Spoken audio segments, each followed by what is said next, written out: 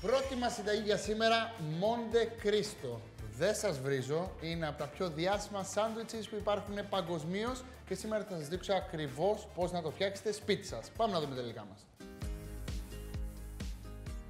Για το Monte Cristo sandwich θα χρειαστούμε 6 φέτες ψωμί για τόστ, 6 κουταλιές της σούπας μαγιονέζα, 100 γραμμάρια τσένταρ τριμμένο, 4 φέτες ζαμπόν, 2 αυγά, 4 κουταλιές της σούπας γάλα, 1 κουταλιά της σούπας πάπρικα, 2 κουταλιές της σούπας βούτυρο, αλάτι και πιπέρι. Για το σερβίρισμα, πατατάκια.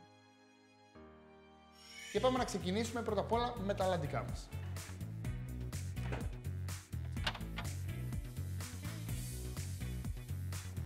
Λοιπόν, για να φτιάξουμε Monte Cristo θέλουμε τσένταρ. Υπάρχουν κάποιοι που κάνουν mix τσένταρ με τύπου γραβιέρα, αλλά γενικά το τσένταρ είναι το τυρί που χρησιμοποιούμε σε αυτό το σάντουιτς. Το σάντουιτς για να το φτιάξετε είναι πάρα μα πάρα πολύ απλό, αλλά πρέπει να δώσετε σημασία στην αυθεντική συνταγή. Η αυθεντική συνταγή ξεκίνησε το 50 στην Αμερική, αλλά έγινε διάσημη μετά από 10-15 χρόνια όταν πρωτοεμφανίστηκε στη Disneyland. Τώρα πια όλα τα μαγαζιά στην Αμερική έχουν Monte Cristo. Πολύ εύκολο να το φτιάξετε. Θέλουμε τρεις φέτες ψωμί του τόστ για κάθε Monte Cristo. Εγώ θα φτιάξω δύο, οπότε θα πάρω έξι φέτες να τις βάλω μπροστά μου. Και το πρώτο βήμα που πρέπει να κάνουμε είναι να λείψουμε μαγιονέζα και στις τρεις φέτες. Όχι πολύ. Λίγο, αλλά θέλουμε η μαγιονέζα να πάει παντού. Κοιτάξτε. Και εδώ. Βλέπετε πόσο λίγο βάζω. Εντάξει, μπορείτε να κάνετε όλη την προετοιμασία για τα Monte Cristo, να τα έχετε στο ψυγείο και τελευταία στιγμή απλά να τα ψήσετε.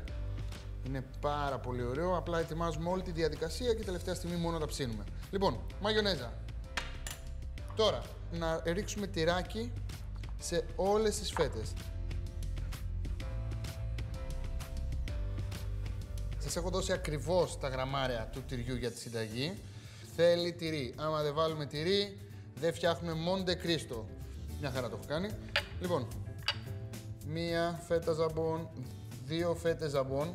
Μπορείτε να βάλετε όποιο αλαντικό θέλετε, αλλά παραδοσιακά το Monte Cristo φτιάχνετε με ζαμπόν. Και τώρα, πολύ απλά, παίρνουμε αυτή τη φέτα με το ζαμπόν και τη βάζουμε πάνω από τη φέτα με το ζαμπόν και αυτή τη φέτα με το ζαμπόν και τη βάζουμε πάνω από τη φέτα με το ζαμπόν. Και εδώ παίρνουμε και καπάκι. Εδώ. Παίρνουμε καπάκι εδώ Τώρα αυτό που θέλω να κάνετε είναι να πάρετε το σάντουιτς μπροστά σας και να πιέσετε πολύ πολύ δυνατά. Πρέπει να κολλήσουν όλα. Οπότε πιέζουμε εδώ. Αυτό είναι το κόλπο στο σάντουιτς. Να φαίνεται ότι έχει δύο στρώσεις, αλλά δεν θα έχει δύο, θα έχει τρεις. Κοιτάξτε εδώ πόσο ήταν και πόσο έγινε. Η μαγιονέζα βοηθήσει πάρα πολύ στο να δέσουν όλα τα υλικά μεταξύ τους. Το βλέπετε; Και μην φοβάστε, σε λίγο θα κάνουμε μία κίνηση ματ και ουσιαστικά θα δέσουν όλα. Τα αφήνω αυτό στην άκρη, δεν μας πειράζει γιατί την κόρα θα την αφαιρέσω λίγο, θα δείτε. Και κάνουμε το ίδιο και στο άλλο, εδώ. Λοιπόν, και είναι μια καλή ευκαιρία να ζητήσετε από τον άντρα σας να πατήσει λίγο στην κουζίνα, να έρθει μια βόλτα. Μετά θα λέει στους φίλους του ότι σήμερα μαγείρεψα, έκανα Monte Cristo, γιατί η γυναίκα μου δεν μπορούσε να πατήσει τόσο δυνατά το σάντουιτς όσο εγώ. Κάτι που ξέρετε εσείς ότι δεν θα ισχύει. Τώρα, πάρτε ένα μαχαίρι και κόψτε την κόρα στην άκρη. Εδώ. Απλά θέλουμε να ισιώσουμε το σάντουιτς και να μην έχει καθόλου κόρα. Εδώ. Και πάμε στο επόμενο ακριβώς το ίδιο. Μπορεί σαν διαδικασία να σας φαίνεται περίεργο αυτή τη στιγμή αυτό που κάνω, αλλά όταν θα δείτε το τελικό αποτέλεσμα θα καταλάβετε ακριβώς τι έχω κάνει. Τώρα, έχω δύο υπέροχα σάντουιτσες με μαγιονέζα, τυρί και ζαμπόν, σωστά. Και θέλουμε ένα μπολ, χτυπήσουμε δύο αυγά,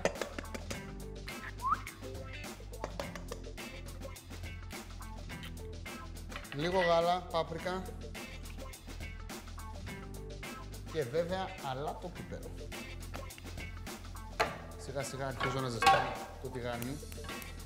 Παραδοσιακά το Μοντεκρίστο ψήνεται πάνω σε πλατό, όχι σε τηγάνι. Αλλά επειδή δεν έχετε πλατό σπίτι, σίγουρα θα χρειαστεί τηγάνι. Όχι δυνατή φωτιά, μέτρια προς χαμηλή, αρχίζει να καίει το τηγάνι. Λοιπόν, πέρι, αλάτι, πέρι, ανακατεύω καλά. Και μόλις ανακατευτούν καλά τα υλικά μεταξύ τους, παίρνουμε ένα ταψί, εδώ, Σα το είπα ότι αυτό το σάντουιτς δεν είναι απλό σάντουιτς. Έχει διαδικασία και θα γίνει κάτι μοναδικό.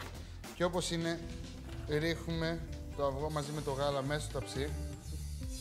Θέλουμε ουσιαστικά να απορροφήσει το ψωμί μας το αυγό μαζί με το γάλα. Γάντια. Καλά, θα γίνει μοναδικό.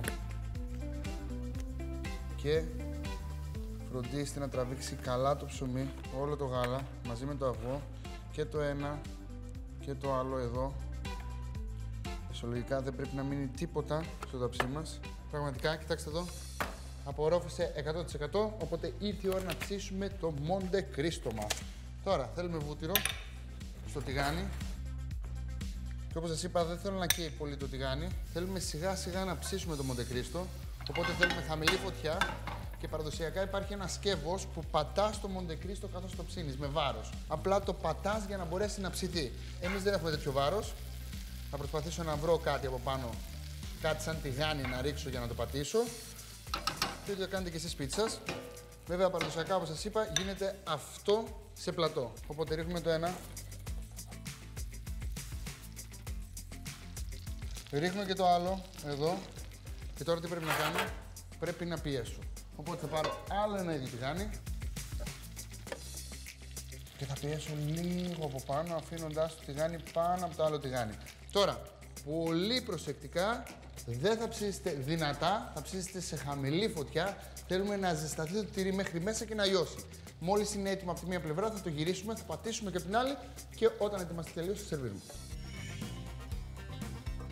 Από το 1930 έως το 1960, αναφορές στο γαλλικό σάντουιτς και το French Toasted Ham and Cheese άρχισαν να εμφανίζονται και στα αμερικανικά βιβλία μαγειρικής. Έτσι, προέκυψε το Monte Cristo. Λοιπόν, νομίζω ότι έγινε από τη μία πλευρά, για να δούμε. Θα γυρίσω. Πρέπει να πάρει ωραίο, τραγανό, σεξι χρώμα. Κοιτάξτε εδώ. Αυτό κυρίες και κύριοι είναι το Monte Cristo. Είναι φανταστικό, δεν υπάρχει. Το βλέπετε; Έτσι όπως είναι, θα καθαρίσω λίγο το τηγάνι από το βούτυρο που έχει καεί για να ρίξω φρέσκο βούτυρο. Εδώ. Οπότε καθαρίζουμε λίγο το τηγανάκι από αυτά τα βούτυρα και ρίχνω λίγο φρέσκο ακόμα βουτυράκι. Εδώ. Για να μπορέσω να ψήσω την άλλη πλευρά. Και μαντέψτε, τι πρέπει να κάνω τώρα, φίλε Δημήτρη.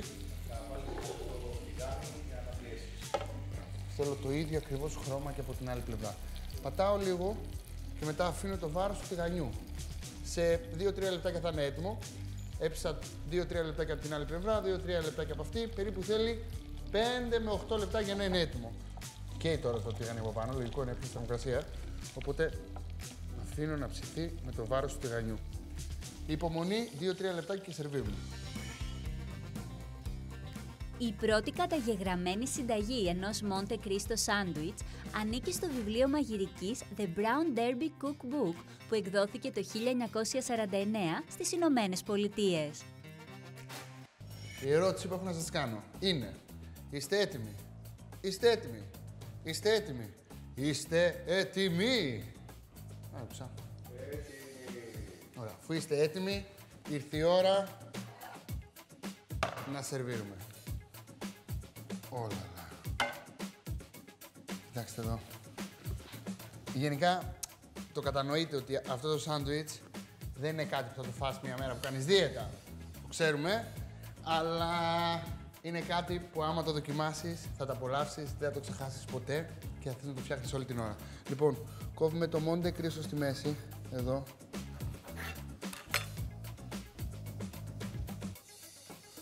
Το τυρί έχει λιώσει, το ψωμί είναι απ' έξω πάρα πολύ τραγανό. Εδώ. Θα βάλω λίγα πατατάκια στην άκρη.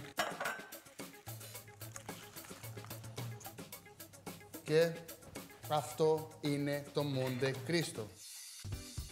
Για το Monte Cristo Sandwich μοιράζουμε σε κάθε φέτα ψωμιού μαγιονέζα και τυρί. Στις δύο φέτες από κάθε σάντουιτς βάζουμε το ζαμπόν Τοποθετούμε τη μία φέτα ψωμιού με το ζαμπόν πάνω στην άλλη και καλύπτουμε με τη φέτα ψωμιού με το τυρί. Πιέζουμε πολύ καλά ώστε να κολλήσουν τα υλικά μεταξύ τους και κόβουμε περιμετρικά την κόρα. Σε μπολ βάζουμε τα αυγά, το το γάλα, την πάπρικα, αλάτι, πιπέρι και ανακατεύουμε.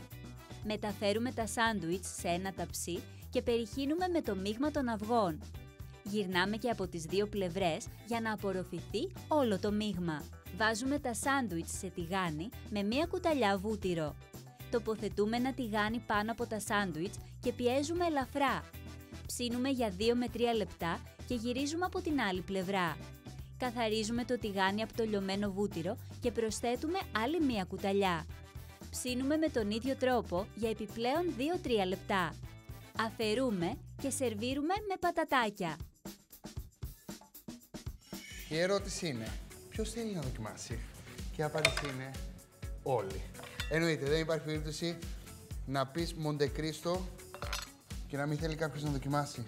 Το ψωμί είναι τραγανό, το τυρί έχει λιώσει, έχει το βούτυρο, τη μαγιονέζα είναι αρκετά λιπαρό, είναι αρκετά γεμάτο σε γεύση και δεν μπορεί να αντισταθεί κανείς μα κανείς στον κόσμο. Ας περάσει το κοινό να πάρει το κομμάτι του.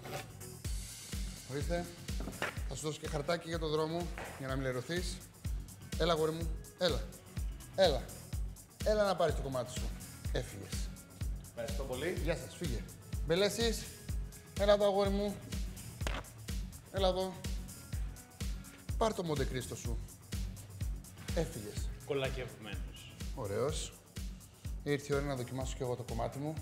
Καλή μας όρεξη και καλή επιτυχία όταν το φτιάξετε. Πες. Τέλειο.